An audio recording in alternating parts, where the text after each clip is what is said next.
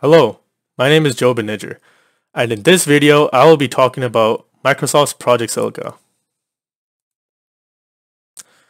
Project Silica is Microsoft's solution to long-term data storage. It is a block of high-purity quartz glass in which data can be etched into with the use of a femtosecond laser.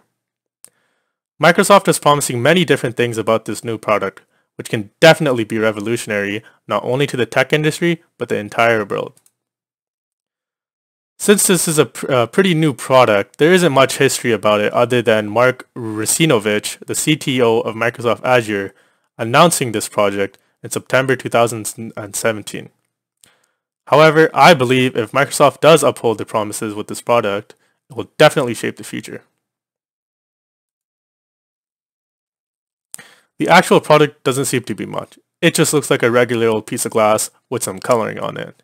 But this small piece of quartz glass can be the next huge innovation, like the first computer was, as well as the first smartphone, because of the various problems that this product can solve.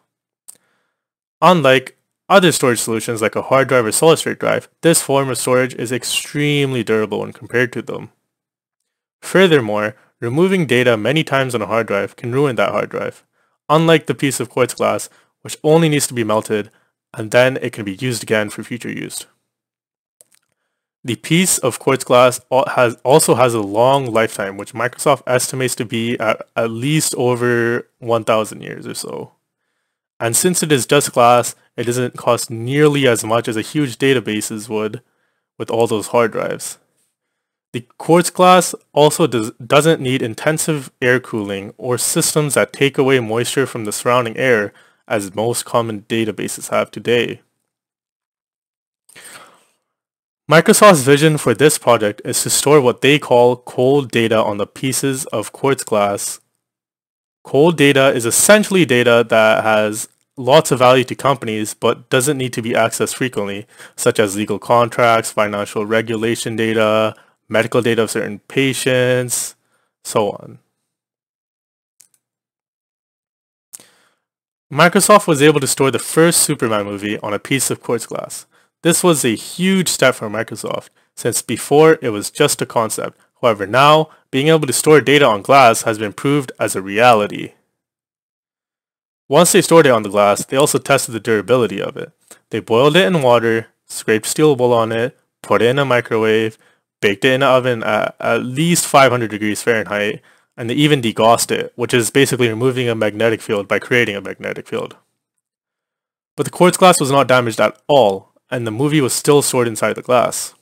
This proves just how reliable this product can be, as all other forms of storage can easily be damaged. Like how a hard drive can be completely shattered if it is even dropped once, and how an M.2 drive can easily be ruined if it is not handled with caution and care. Reading and writing on the quartz glass requires a femtosecond laser, which is a machine that can emit lasers with a duration of 1 to the power of negative 15 seconds. This machine emits a laser that focuses on one point within the glass to create a customizable voxel. The voxel is essentially the data that is being stored inside the glass. The quartz glass can hold voxels like a three-dimensional cube, which is why it is able to store so much data on such a small piece of glass when comparing it to a typical hard drive, which can take a lot can take a lot lot of space. A 2 millimeter thick piece of glass can contain over 100 layers of these voxels.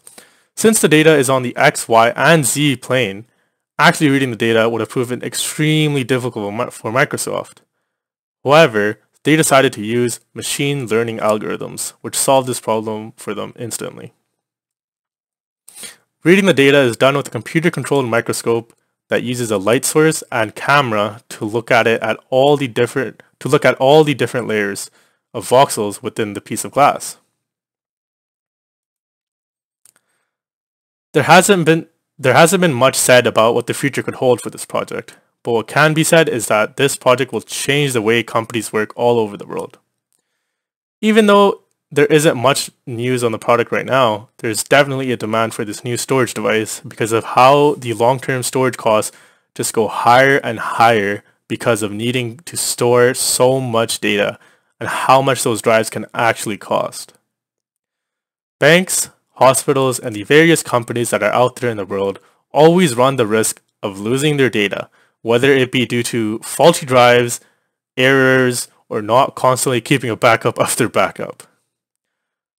Additionally, when there is a need for upgrade, whether it be due to a faulty drive or a drive no longer having enough storage, it can be expensive to add new drives or replacing the old ones with newer ones.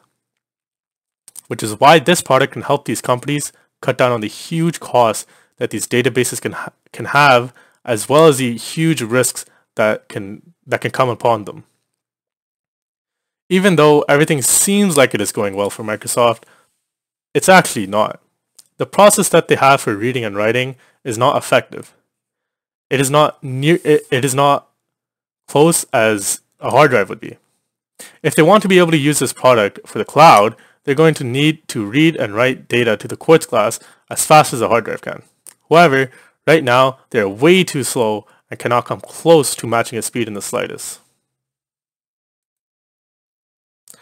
Project Silica unquestionably has the potential of becoming an innovating product that solves the problems that come with long-term storage with the use of quartz glass and femtosecond lasers. To end this presentation, I would like to thank you for watching, and I can hope you can take something away from this video, whether it be a newfound interest or maybe some new knowledge that you might not have know, known before. Thanks for watching.